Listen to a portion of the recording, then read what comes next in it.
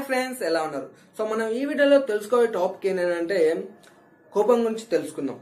So ఆలస్యం చేయకుండా వీడియోలోకి వచ్చినట్లయితే లండన్లో ఒక రెస్టారెంట్కి అమెరికా నుంచి ఒక వ్యక్తి వస్తాడనమాట. లోపలికి ఎంట్రీ కాగానే లెఫ్ట్ సైడ్ రైట్ సైడ్ అటు ఇటు చూసుకుంటూ లోపలికి ఎంట్రీ అవుతాడనమాట. అందరిని అబ్జర్వ్ చేసుకుంటూ లోపలికి ఎంట్రీ కాగానే లోపల ఒక మూలన ఒక వ్యక్తి కూర్చొని ఉంటాడు. అతను ఇండియన్ అనమాట అతని స్కిన్ కలర్ గానీ డ్రెస్సింగ్ స్టైల్ గానీ చూస్తే ఇండియన్ అని చెప్పి ఎవరైనా చెప్పేయచ్చు. సో అతను చూసిన తర్వాత ఈ అమెరికా అతను వెయిటర్ దగ్గరికి వెళ్ళి సో ఇక్కడ రెస్టారెంట్లో ఎవరైతే ఉన్నారో వాళ్ళందరి బిల్స్ నేనే కడతా. వాళ్ళు ఏదైతే తిన్నారో అవన్నీ లిస్ట్ నాకు ఇచ్చేయి.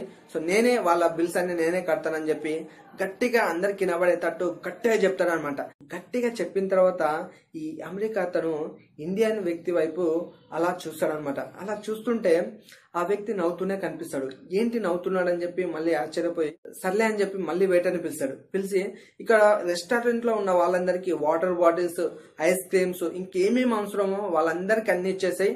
సో గట్టిగా చెప్పిన తర్వాత ఈసారైనా ఖచ్చితంగా ఆ ఇండియన్ అతను వినే ఉంటాడు ఖచ్చితంగా ఈ మాటలు వినే ఉంటాడని చెప్పేసి ఇతను అనుకొని మెల్లగా అతని వైపు చూస్తాడు. చూస్తుంటే ఇంకా మంచిగా గట్టిగా నవ్వుతూ థ్యాంక్ యూ సో మచ్ అని చెప్పి అతను చెప్తాడు అనమాట ఇండియన్ అతను. చెప్పిన తర్వాత ఆశ్చర్యపోతాడు. ఏంది? థ్యాంక్ యూ సో మచ్ ఎందుకు చెప్తున్నాడు అని చెప్పేసి వెంటనే అమెరికా అతను వెయిట్ అనిపించి ఏంది పిచ్చోడా ఇండియన్ అతను?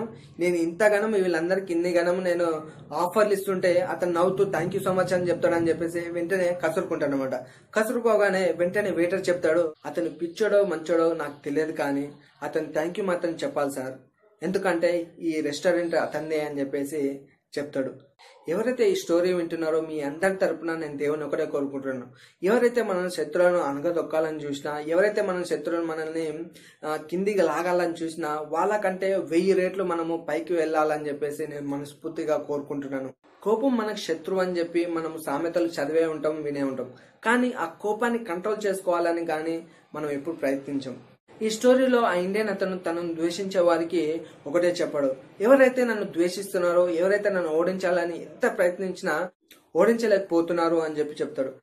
కానీ నా దగ్గరకు వచ్చి ప్రేమతో ఓడిపో అని చెప్తే ఓడిపోలేనా అని చెప్పి అంటాడు. సో ఫ్రెండ్స్ మనము శత్రుత్వం కంటే ప్రేమతో గెలుచుకోవడం చాలా మంచిది ఫ్రెండ్స్ సో సక్సెస్ఫుల్ పీపుల్ ఎప్పుడైనా శత్రువులు మనల్ని కిందికి లాగాలని చూసినా వాటి నుంచి మనం నేర్చుకొని పైకి వెళ్ళే శక్తి మనలో ఉంటుంది ఫ్రెండ్స్ కాబట్టి ఎప్పుడైనా మనము శత్రువులను మనం చుట్టే ఉంచుకోవాలి. సో వాళ్ళు మనల్ని విమర్శిస్తేనే మనం ఇంకా కొంచెం పట్టుదల పెరిగి ఇంకా ముందుకు వెళ్ళడానికి వాళ్ళే మనకు సహాయపడతారు ఫ్రెండ్స్ మనం ఇంకా పైకి వెళ్ళడానికే శత్రువులు మనకు ఉపయోగపడతారు ఫ్రెండ్స్ కాబట్టి వాళ్ళని మనం ద్వేషించకుండా వాళ్ళని మనం మంచిగా చూసుకుంటే చాలు ఫ్రెండ్స్ మిర్చి సినిమాలో ప్రభాస్ ఒక డైలాగ్ చెప్తారు కదా ఫ్రెండ్స్ వీలైతే ప్రేమించండి వీడు పోయేది ఏముంది మహా అయితే తిరిగి ప్రేమిస్తాడని చెప్పి. సో ఇది ఒక్కటి మీరు పాటించినట్లయితే తప్పకుండా మీ లైఫ్లో సక్సెస్ అవుతారు ఫ్రెండ్స్ సో మీకు ఈ వీడియో నచ్చింది అనుకుంటున్నాను. ఒకవేళ మీకు నచ్చినట్లయితే ప్లీజ్ లైక్ చేయండి. అదే విధంగా షేర్ చేయండి. Thank you so much for watching this video and మరో ఇంట్రెస్టింగ్ టాపిక్తో మళ్ళీ మేము ముందుకు వస్తాను. అంతవరకు స్మైలింగ్ బాబాయ్ జై హింద్